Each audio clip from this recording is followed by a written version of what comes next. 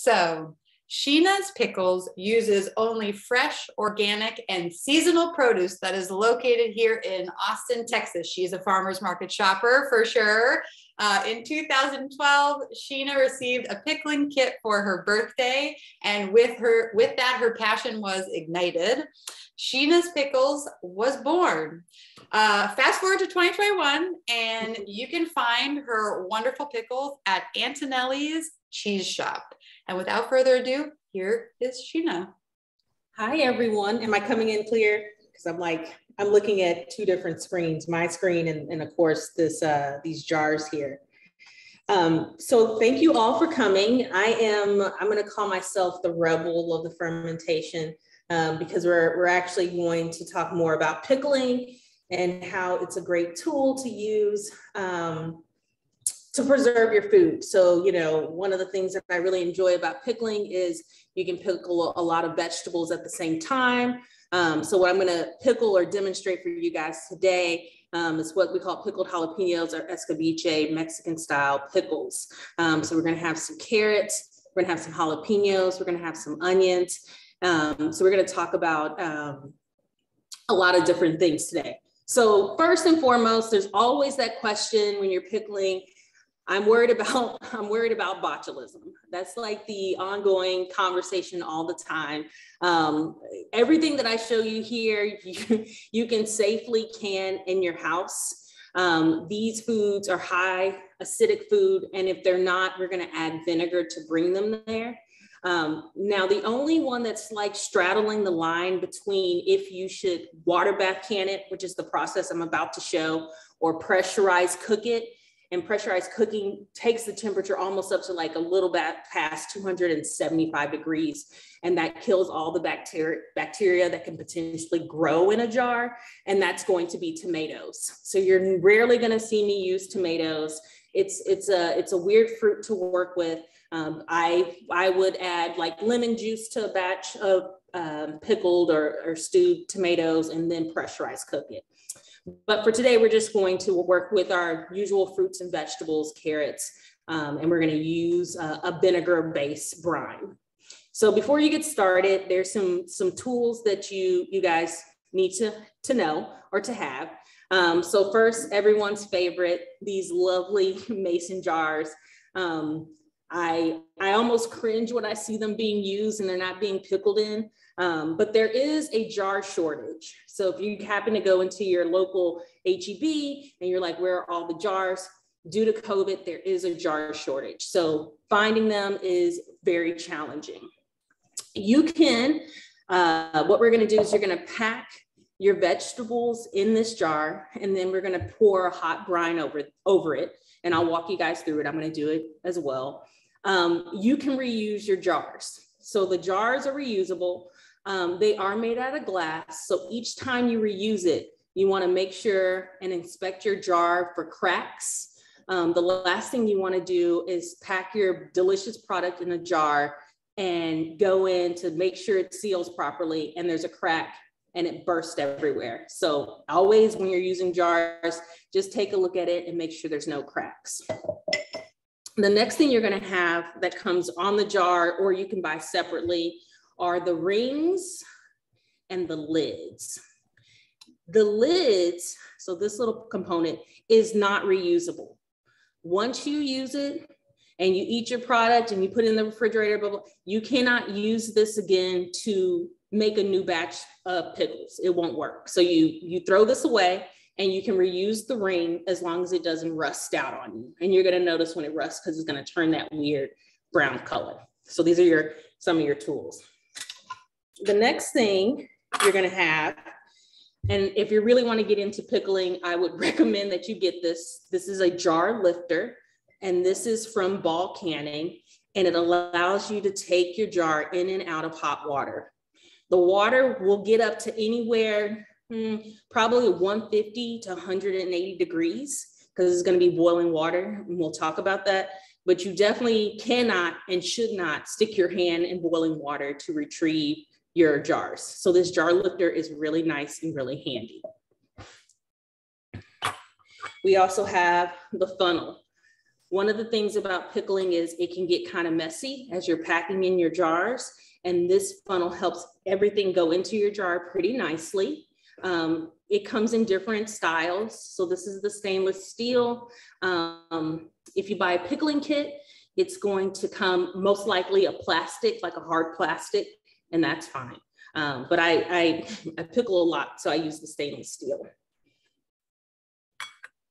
And then you want a ladle again, because once we pack all of our good product in there, we put the funnel on, we're gonna ladle the hot brine right on top.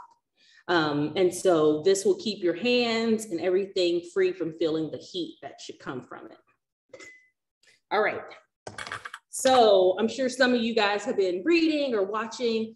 How do you how do you do home canning? How do you do it? How do you pickle at home?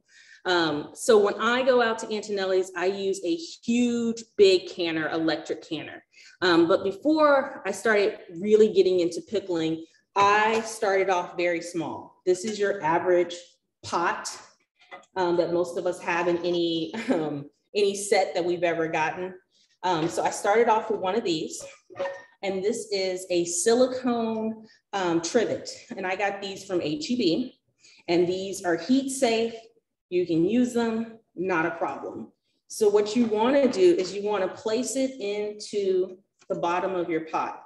Unless you have like a professional canner um, that has like a rack at the bottom, then this is gonna be your next best option. It's the cheapest option, it's the easiest option, and it doesn't, you know, you don't want to spend a lot of money if you're if you're really starting out. So you put the little silicone trivet right down in there. And then what you're gonna do is you're gonna load your jar up right on top of that trivet. So the thing you wanna be mindful of is to make sure that those jars are staying on that silicone trivet because this pot is gonna be full of hot water and you don't want your jars breaking because they are glass. So you will fill it up with hot water all the way until you slightly cover the top of the jars, okay?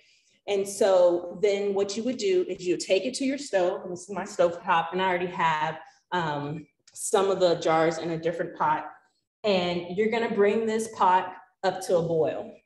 Your jars, and the reason you're doing that is because your jars need to be sterilized. These jars come packaged in a little box um, there's no way of knowing how long they've been on the store shelves. And to make sure that all your product is as clean and as safe, you're actually going to sterilize your jar. So in this case, sterilizing means you can bring it up to a boil with water. I even add a little bit of vinegar and you boil it for about 10 minutes. And that should safely sterilize your jar. You're going to read things on the internet, on Pinterest that's like, um, you know, you can put it in the dishwasher, you can put it in up. No, it has to be on the stove top or an, an electric canner, um, which you can buy, and it has to boil for at least 10 minutes to be sterilized. So now to the fun part. So once you get all of your, your jars ready, um, the next thing you wanna do is what are you going to pickle? So that are great to pickle. Cucumbers, green beans, carrots, onions, all of those, a combination. Um, you can even pickle fruit. Um, so when I was at the farmer's market, a lot of people were surprised that most people think of fruit with jams or jellies, but fruit actually, um, they just don't get the same type of attention that do. All right, so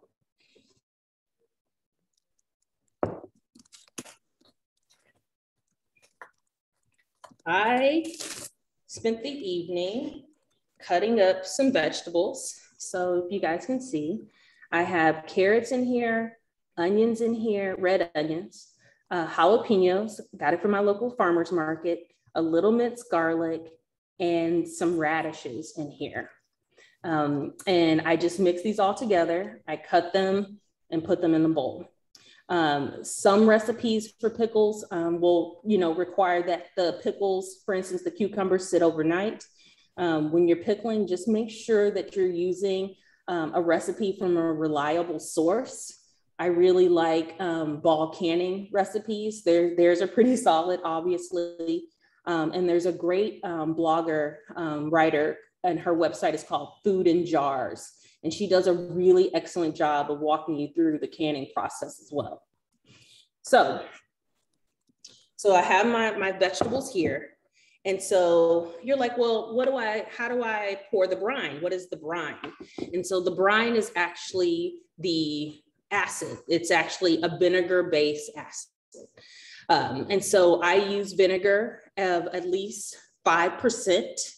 Um, anything lower than that won't be able to, it's not strong enough to potentially kill any potential germs or bacteria that can grow in your, in your food. So you wanna use 5%. You can mix vinegars. So for this recipe, we're gonna use two vinegars, a white vinegar at 5% and an apple cider vinegar. Um, you can potentially use rice vinegar, but you need to have some other vinegar that's at least 5%, um, just so it's, you know, it's, it's, it can be shelf stable and, you know, nothing gross or icky will grow on it. So how do I create my brine? So we are making, like I said, a, uh, a vinegar based brine with four cups I'm sorry, eight cups of uh, apple cider vinegar, eight cups of white distilled vinegar at 5%. We have one tablespoon of um, thyme, and then a half a teaspoon of oregano. So, so you guys have that. So what you're gonna do with this is, let's see if I can find it. Let's use our pot here. So you would take another pot. So we would take this one. You would add your eight cups of vinegar. You would add your eight cups of apple cider vinegar. You would pour in all of your oregano and your thyme. And then the one ingredient that really helps your vegetables stay crunchy for longer is pickling salt, not your regular Morton salt this is your pickling salt. So this guy can be found on the same aisle that you get ice cream salt. So one of the, the drawbacks of using vinegar is, and using heat and pickling is it does make your product go weaker. So people do complain, oh, my cucumbers are kind of soggy or this, and it's either because the, the vinegar to um, salt ratio is off or um, you're not using the right salt. So you definitely want to use pickling salt. So here I have half a cup of pickling salt. So that goes straight into the, the pot with our, our, our vinegar and with our seasonings. And then I bring this up to a boil and I boil it until all the salt has dissolved. And that's kind of how you know it's ready. When the salt has dissolved, then you know it's ready. So then, now that we have, we've sterilized the jars, we've cut up our vegetables, now we pack our jars, okay? And so behind me, this, this dude has been going well before we started talking, um, but I, I had hot water, I brought the jars up to a boil for 10 minutes, and now I'm taking them out. Steam coming from that pour out the water.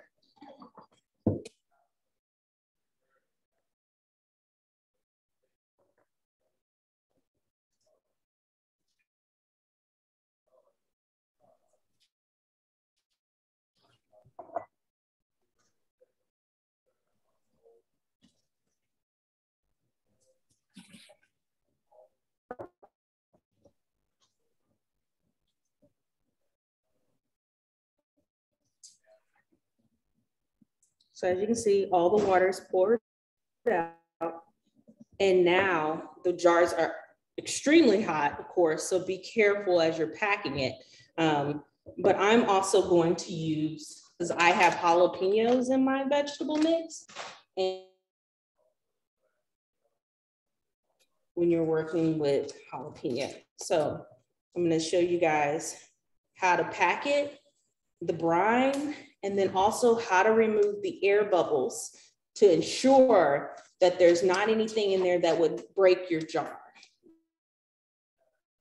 Using my funnel, I can, I'll do it like this, using my, and now I'm going to pack the cucumber solution.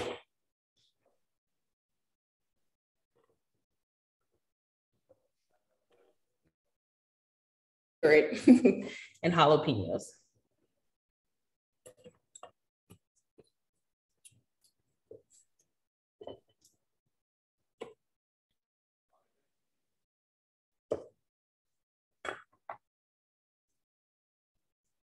So if you guys see it, it's in there packed pretty nicely. And I'll put it over here.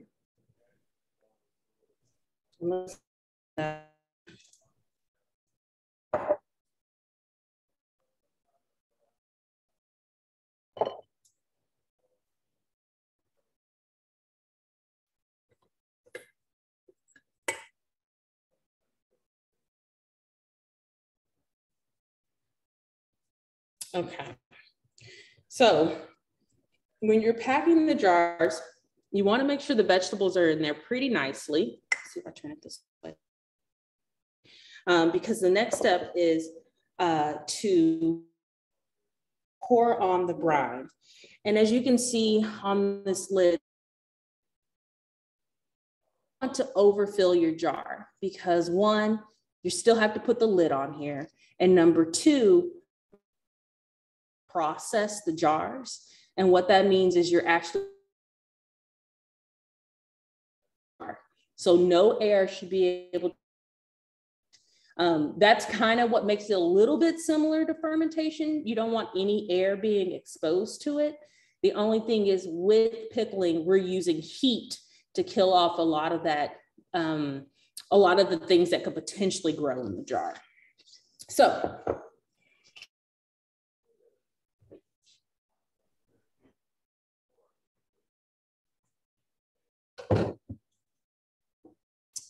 I have made my brine. And again, this has the thyme, the oregano, the two vinegars, apple and white, and the pickling salt. And then take my funnel and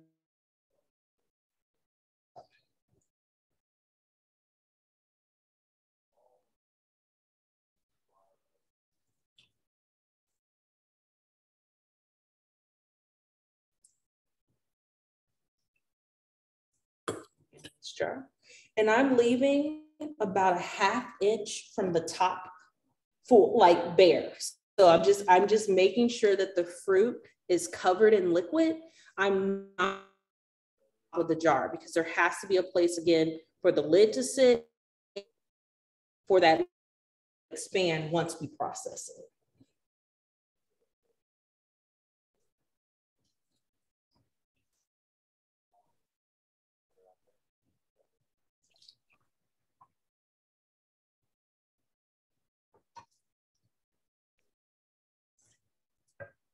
Again, leaving some headspace. So I'm gonna walk it up to you guys a little bit so you can kind of see the liquid in there. So I can bring it to this camera. So then it's beautiful. Hope you guys can see that it's beautiful. So one of the things is as we're pouring that liquid in there, packed really tight, there's air bubbles in here, right? You may not be able to see it, but there's air bubbles. The jar is packed so tight, and now we pour liquid on them. now, if I don't remove these air bubbles, when we finally do the last portion to process these jars, those air bubbles will expand and they will potentially, can potentially crack the jar. So we have to release those air bubbles before we do anything else. So most of us at home, chopstick um, or something plastic to help us remove the air bubbles. You do not want to use anything metal. Do not slip a knife to release the air bubbles because that metal can hit the glass. And again, it could crack your jar. So the thing is to protect, protect your jar at all cost. So walk this up. So you take it And then you're going to stick, I have a chopstick, and you are going to stick it as far down all around, and you're gonna start seeing these little air bubbles pop up, right? So you wanna remove as much as possible, and you're gonna start seeing them like really come up. And if you have to, if your, if your vegetables no longer feel like they're submerged in the vinegar, then you can add a little bit to top it off. I think I did pretty good with this one. I think they're all pretty good. So I released the air bubble out of that one. And then again, same thing. You're gonna remove the air bubbles, moving that stick or that chopstick or even your um, bubble uh, releaser. And then again, just ensure that your product is submerged in vinegar, okay? So everything looks good. We pack the jars. We've kept our, our lids pretty nice and clean. Um, and we released the air, the air bubbles. So what I like to do is I take a little bit of water from when I was uh, sterilizing the jars and I just make sure I wipe the mouth of the lid off. Sometimes you'll get um, vinegar, sometimes you'll get vegetables.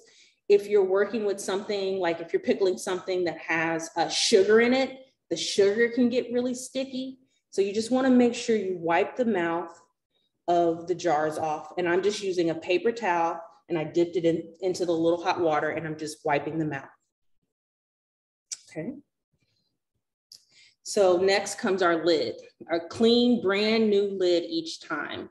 So the lids have an interesting story. So maybe about two years ago, Ball changed how their lids work. It used to be that you had to gently warm up. So this little, I'm sorry, this little brown part is actually the, the adhesive. This is what actually sticks the jar to the lid. And so a long time ago, Ball had where you had to lightly simmer the lid separately to warm up this little brown part. Now you no longer do that. In fact, if you warm these up, it will ruin the adhesive.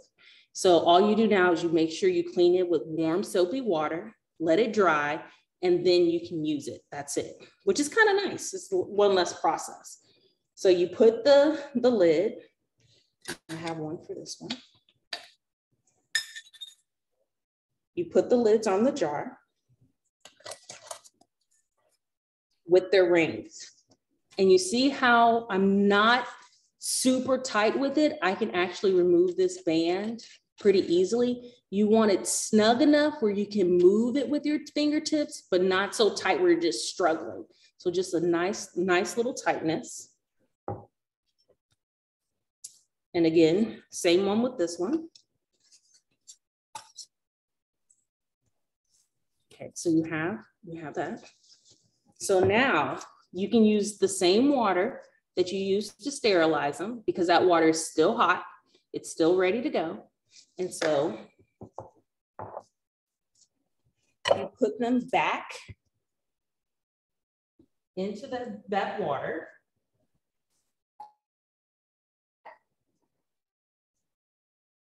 And you bring this up to a boil boil, not like crazy, but to a nice rolling boil. And you let the jars process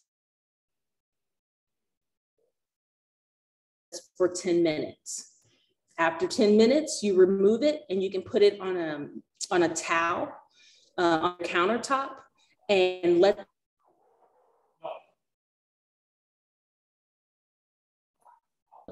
is you're going to know that a jar properly sealed if when you touch the middle of that lid, it doesn't make that sound. That probably means that your lid did not seal properly to your jar. So you have options. You can, you know, you can just take it, put it in the refrigerator, know that you have to eat it within a few days, um, or you can throw it out, or you can reprocess it, which is a, a whole different step, but you know, if you start hearing this, that probably means that your lid is not properly sealed. But if you touch the lid and you hear nothing, like it doesn't click back on you, you have a good seal. And so most products that are pickled, um, their shelf life is up to a year. And when I mean up to the year, you're gonna still get that beautiful color. You're gonna still get the delicious flavor. And then after a year, maybe the color will change. Maybe the flavor will change slightly. Um, but the shelf life is pretty long for pickled items. All right. So do we have any questions? Well, Sheena, I will um, field one of the questions over to you that someone dropped into the chat. Um, and a reminder to everyone if you have questions, drop your name into the chat and we can unmute you. Um, or if you don't want to talk, but you um, do have questions, just drop those into the chat as well, and we can get those over to Sheena. So, um, uh, a viewer asked on sterilization the there's a couple questions coming in about sterilization. Oh. Um, one is the silicone piece does not cover the pot bottom, yet you said the jars should not touch the bottom. Some of them would be part of the square uh, of, of the silicone and part on the bottom. Is the, does that work? Is that a problem? And then someone also asked, do we need to sterilize the lids and the rings? No, you don't need to sterilize the lids and the rings. Um, the lids, like I said, are only one time. So you'll, you'll actually take the, the, uh, the lids out of their box. So this is a box. Um, and wash these with warm soapy water, put them on a let them dry, and then you can just start using them. You don't have to heat them. You don't have to put any vinegar on them, nothing. You just want now for the silicone, box, yes, some of the lids may kind of kind of go off of the silicone a little bit. You just don't you just don't want to have any nothing in there. Like you don't want to sit your jars on the bottom of the metal. So you just want something, some type of barrier. You can actually get um, canning racks. It's really hard to find canning racks and and and a you know pot for a pot like this at home, um, but you can buy a canning rack. And sometimes those will sit very nicely at the bottom of a pot and then you can add your jars. So you just want some, you just want a barrier between the metal and the jars. So does that make sense? That totally, that totally makes sense. Um, Someone, another person asked, what kit would you recommend a beginner to get started? Ooh, so I think all beginners should buy, if you just type in a Google search like pickling kit, it's going to come up with a kit that has all these little tools. So I find like having the right tools make it a lot easier. And um, any book, like, um, let me think uh, I'll, uh, maybe I'll come back with Nora with some books, but any books that kind of walk you through the canning process, I, I found that was helpful. Any YouTube video, um, you kind of just want to take your time with it. The one thing that's really nice about working with vinegar is so one of the things that you always want to do is like as you're making your brine, taste it, right? You want to make sure that adjust do I need to add more salt? Need to add more spices? Do that. Um, and so the one thing that I did was I had like a recipe, um, a really basic, here's how you make sour pickles. And I just followed it step by step until I could figure out, you know, what worked for me profiles, understand I may want to make pickled cucumbers, cucumbers are not in season. So, okay, I like beets. How do I make beets? So I think it's really patient with yourself. Work on like that brine and getting the flavor pro profile, how you like it. Um, and just remember like certain ingredients, for instance, dill, a little bit of dill goes a long way. So I agree. That's that's a perfect way to describe dill. A little bit of dill goes a long way for sure. Um, we had another person who asked, um, I know that your focus is more on vinegar pickles, but for those who are interested in um, doing more fermented pickles, if you had any resources you could recommend. Yes, the Bible of fermentation is the art of fermentation. It is, I have it somewhere. It's a huge book. And he about um, wild ferments um, and how to, you know, how to ferment, how to control the temperature in your kimchi. Um, I really found that book to be extremely helpful and really fermentation is the more you do it, such a um, it's the, you know once that the vegetables. You i mean once once it starts you have no control over it. So once you finally get your recipe down you know really consistency i think having consistency and, in fermentation is the hardest part. And then you know knowing how to store it once it gets as sour as funky as you want it. Um, and so that that's a great resource is the art of fermentation. I really like it Great recommendation. And I plugged in the link to um, that book for Bookshop. Sandor Katz is a past fermentation festival presenter. So um, know that you uh, are in good hands for sure. Um, someone else asked with the leftover brine after you uh, eat all the pickles, can you use that for anything? Can you reuse it to quick pickle something or should you just throw it out? You know what? I'm not sure if other people are having this issue. Sheena, I think you might be uh, breaking up a little bit. Maybe we should try just doing one camera. Would that maybe put less pressure on? Maybe not. We'll keep we'll keep going. But can you hear me now? Yes, you sound okay. good. Okay, so um, so yes, you can use the brine. Um, you can use quick pickle, where you can use the brine for refrigerator pickles. You know, I've used the brine for things like um, you can use it for a martini that offers, um, especially with like a basic, you know, like a dill pickle brine. You'll strain off all the, the spices. Um, so yeah, the brine can be used for a number of different things. Um, like about it. Awesome. And uh, someone else asked, how long do you typically let the um, the things pickle before you open the can and eat them? I know it's hard to to let them rest.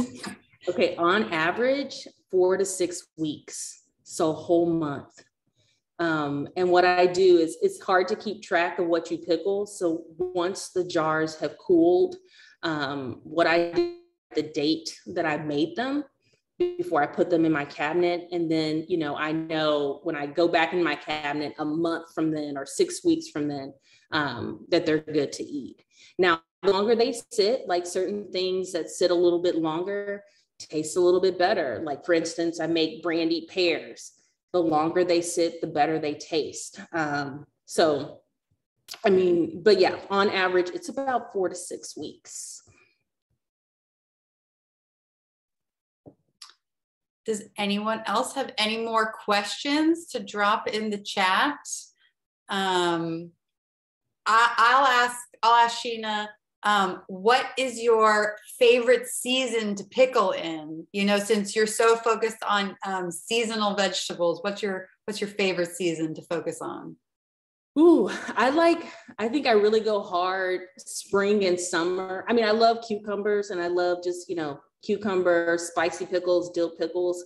So I go pretty hard on the pickling cucumbers. Um, and that's, I think, you know, when people are making, you know, pickles as in cucumber pickles, you know, they may run to the grocery store and they grab, you know, the really pretty, shiny, waxy cucumbers.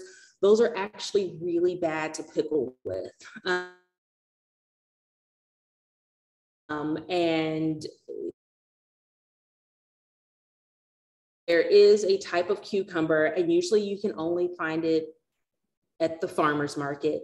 sorry, my is my internet still breaking up? Um, you can only find it at the farmer's market. Um, and it, they're kind of rough and you cut off the ends because there's an enzyme that happens at the ends of a cucumber that can make it go weaker. And so you cut off the ends and you can make them into spears, you can make them into rounds, and they are absolutely perfect to pickle with. They most likely keep their crunch. Um, the pickling Kirby cucumbers are um, cucumbers the same as the Persian cucumbers.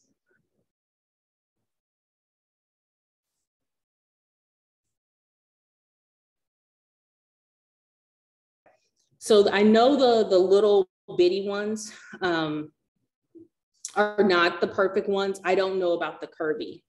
So that's a good question, Mike.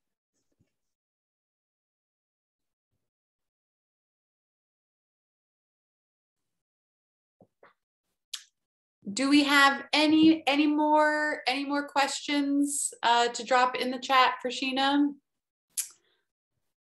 Speak now. Otherwise, Sheena, if people have questions for you in the future or they want to take another class with you, um, where can they find out more information about Sheena's Pickles? So I have a website. So my website is sheenaspickles.com. And you can follow me on Instagram. You can follow me on Facebook. It's all under Sheena's Pickles. I'm pretty good about responding to messages. So you can direct message me, leave me a comment, a chat. Um, you know, so I'm pretty available. Wonderful. Well, thank you so much for this presentation, Sheena. I know we're getting lots of great uh, comments in the chat saying people are inspired to make their pickles now. So thank you so much for taking the time to lead this workshop. And uh, everyone have a wonderful evening and enjoy pickling with the seasonal bounty. Thanks, everyone.